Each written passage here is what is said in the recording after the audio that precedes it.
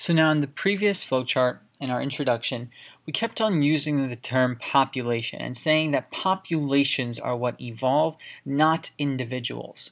So I'm going to entitle the next flowchart Populations 1 as we sort of dive into this idea of what it really means to be a population in terms of evolution. So we'll entitle this Populations Roman numeral 1. And before we go any further, I think it makes a lot of sense to definitively define population so that we really know what we're talking about whenever we say um, population in terms of evolution. So let's look at our definition of a population. So it's a bit wordy, and so let's look at it. Um, a population can be defined as a group of potentially, we really want to notice the language used here, potentially interbreeding. Okay, so it's a group of potentially interbreeding organisms, so ORGS for organisms, of same SPP will stand for species, living in, so we'll say living in the same area, so we're still going, same area, and one last nuance at same time. Okay, so wordy definition, but important definition nonetheless. So let's go over it. A population is defined as a group of potentially interbreeding, meaning that they can have offspring with each other, organisms of the same species, so they have to be of the same species, living in the same area at the same time. So there are some important jurisdictions that need to be followed, some laws that need to be followed in order to be considered a population within the realm of evolution. So this is an important definition that we're going to work off of. Now, we're going to apply this definition by looking at a specific study of populations. Um, this is basically what we're going to be doing for the next couple of flowcharts, which is known as population genetics. So we're expanding our knowledge on genetics and expanding our knowledge on populations, and we are looking at it all on an evolutionary scope and context. So what is population genetics? Population genetics can be defined as the following. So another bit of a wordy definition, but a great definition nonetheless. So this is our definition for population genetics. This is when we as scientists study the genetic study the genetic variability, okay? Remember all that talk about variations in our previous video? Well, it's about to show up. The study of genetic variability in the uh, populations. So study of genetic, uh, study the genetic vari uh, variability in the populations um, and evolutionary factors. Okay, so EVO factors will stand for evolutionary factors acting on variability.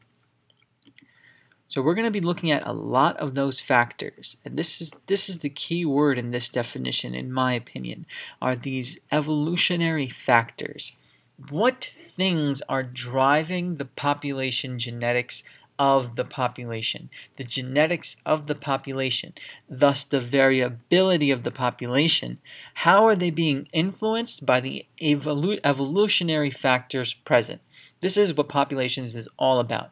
So it's when you study um, we can actually erase this. The study genetic variability um, in, uh, we'll just say, populations and evolutionary factors acting on variability. So that's a good applicative definition to something that we've just established right over here.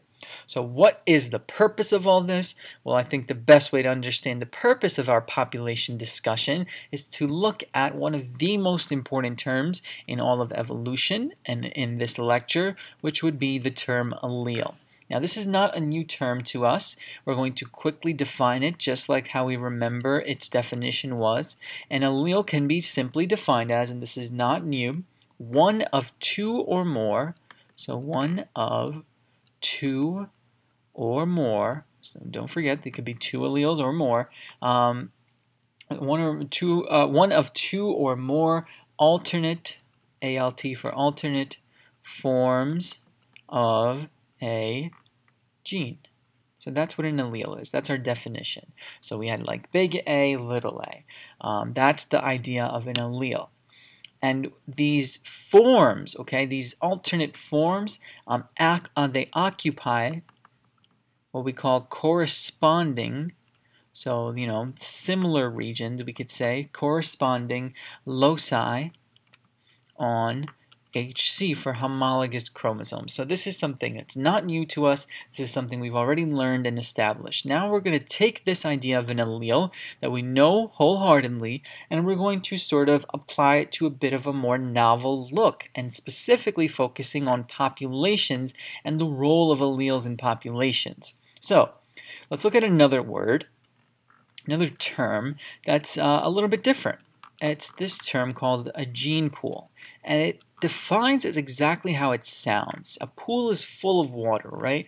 And a gene pool will be full of genes in the sense that a gene pool can be defined as all alleles, and this is the purpose of writing alleles definition here, all alleles of all genes, let me rewrite that, all genes, so all alleles of all genes in population, so there's that population term one more time, at any one time. So if somebody is studying a population and wants to know all of the alleles of all the genes available in that population at any one time, they will refer to that as the available gene pool. And now evolution, we have to always go back to evolution because this is what we're talking about. This is our theme. Evolution will act on the gene pool and thus evolution will act on alleles. We're going to see how a little bit later. I don't want to spoil anything, but just keep that in mind. How is evolution related to every single thing that we're doing on these flowcharts? It's a big idea to understand. So that's our gene pool definition. We'll get back to that a little bit later. Um, in an allele, uh, the other thing we have to understand uh, is the possibility, and something that we've seen, of a diploid species. And we know what diploid is, of course. This is simply going to refer to, and there's an important reason I'm mentioning this, as each locus is present twice. Okay, each locus present twice. Now you can explain to me why, of course, because this diploid individual, this 2N individual in other words, got one haploid and another haploid from mom and then dad. Fertilization happened, sperm plus egg, creating a diploid individual. Thus they have each locus represented twice, okay? There's a hair color gene from mom and a hair color gene from dad. So that's what we mean by diploid species. This will be important as we move forward. So we're just laying a groundwork for our further discussion on population genetics.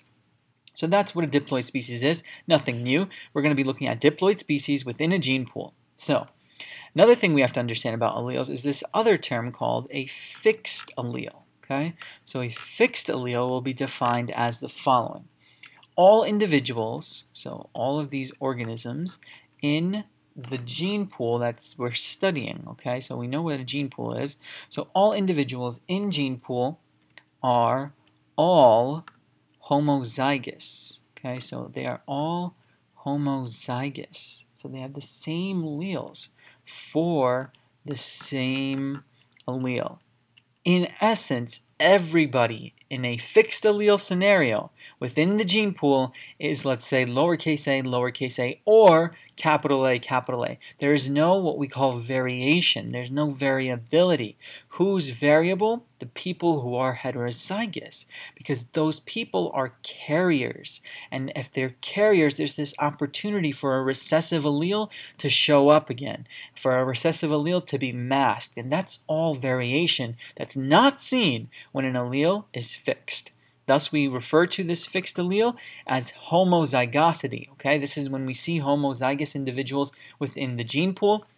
And finally, the last and I believe the most important term of this uh, allele part of this populations flowchart is the following. We will define and label the next term as allele frequency, which from this point forward, like I said in our previous video, for purposes of simplicity will be just denoted as AF capital.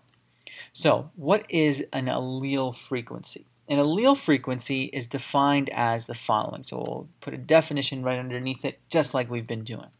It is defined as the proportion, so we'll say the proportion of specific allele, okay, so there's an allele in question, and that specific allele, so it's the proportion of specific allele in particular population. So how much of a particular allele within a particular population shows up? What is its frequency is what we're saying. I think a good way to understand the idea of allele frequency is to look at a simple, very contrived, easy to understand example, which I'll do um, down here since I don't have much space up here. So basic example for allele frequency. So, so we'll write AF um, EX for example. Think of, let's say, um, a hamster population. Okay, everybody knows what a hamster is, and hamsters represent themselves in populations, um, and that population is present with two alleles, so hamster population with two alleles for, I'll say, um, fur color, so fur color. So right now we're looking at a hamster population, our particular population, um, and we're looking at a specific allele within that. The specific allele that we're looking at is the fur color allele. What do we notice? Well, in this fake example that I'm giving you, in this hamster population example, I noticed that about um, half the alleles, so about one half of the alleles within this population I've figured out um, are uh, black, are code for black fur color. And another half of those alleles, since there are two halves to make a whole, the other half of those alleles in this diploid species, this is why I said diploid, those guys are uh, noticeably brown in their fur color. So simply speaking, my frequencies are the following. This is how we would write it. We would write down that the frequency, which is lowercase f, parentheses, open parentheses, of black, close parentheses, is equal to 0.5. That's an allele frequency. The allele frequency of our black fur color allele is 0.5. We haven't given a letter to the allele, but that's not necessary for the purposes of this example just yet. We'll get to that. And then, of course, by definition, if our frequency of black fur is 0.5, what's our frequency of brown fur? It is, of course, going to be 0.5. The big idea here is that the total allele frequency is always going to be equal to 1 and then there's going to be variation within that. If we have a total allele frequency of 1, wouldn't you say that that allele frequency is, of course, fixed, right? That's the idea of a fixed allele. We'll get into these details a little bit further. So right now, tons of definitions to understand. Hopefully you can apply them. Um, we have a basic idea of what an allele is, and we're going to be manipulating these ideas as we move forward in our understanding of microevolution. Again, it's all about evolution. Now we have a good, strong basis of what evolution will be acting on and how it will be acting. Let's see what happens.